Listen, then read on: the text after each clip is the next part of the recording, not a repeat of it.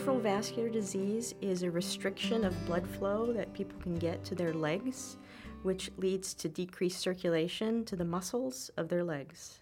The, there's lots of different causes, but the underlying etiology is either atherosclerosis or the buildup of cholesterol in the arteries or some type of inflammatory process. So, people who are at risk of getting peripheral vascular disease, it's obviously associated with age. So, anybody over the age of 65 has a higher risk of peripheral vascular disease.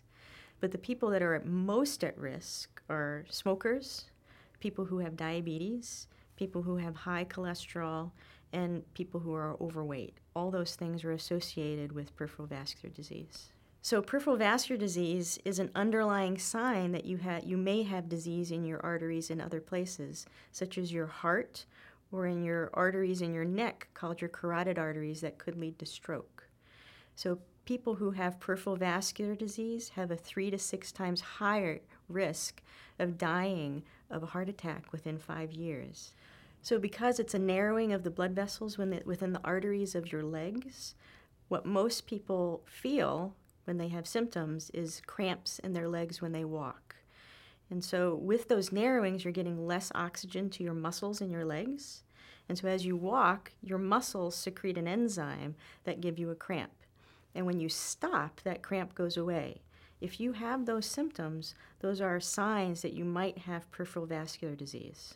A lot of times, as you get older, it seems that your activity level decreases. You have aches and pains. And so a lot of people believe that it's just a normal part of aging where they can't walk the distance that they used to. And a majority of the time, if they talk to their physician about these particular problems, simple things can be done to improve that. And sometimes these problems turn out to be more worrisome, like peripheral vascular disease in which case, again, those are signs that other problems are going on with blockages in the arteries in your heart, as well as blockages in the arteries in your neck. And so we really want to see those people early so we can prevent death from heart attack and strokes. This Healthy Highlight is brought to you by Dartmouth Hitchcock and Ledyard National Bank, working together with our community partners to improve your well being.